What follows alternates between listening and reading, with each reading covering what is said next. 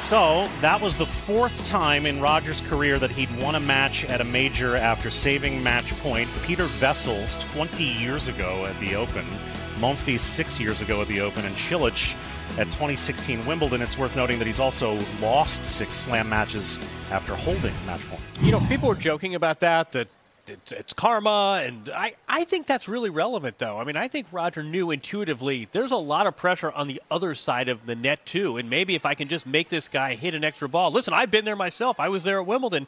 I think that played into this, but boy, you, know, you said yesterday you gave Roger a B for the tournament, and we said, well, you know, it's, it's pass fail we didn't realize the extent to which it's pass fail. He was the first to admit he was lucky to win yesterday. He was lucky to win, but uh, we talk about statistics. I did some numbers. Sandgren made an unforced error for one of every six points during the match. One out of six, those seven match points, he had five unforced errors.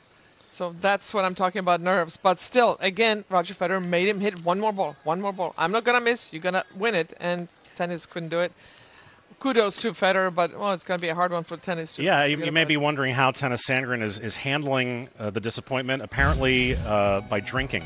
Uh, double shot for every. Uh, don't do that. Okay. That would be unhealthy. Good to see he has a uh, sense of humor about that. But when he went into press, he, he was just gutted. And sometimes yeah. players lose matches and they say, too good. The opponent took advantage. I mean, both Federer's reaction and Sandgren's disappointment reaction sort of he was as much about one player as the other. Tough one to swallow, but Tennys is on his way up. He's playing better tennis uh, than ever. Uh, I think again uh, with uh, Michael Russell helping him along, so hopefully he'll can get over this one. All right, and two days off for Roger until he has to play Novak in the semifinals. We'll have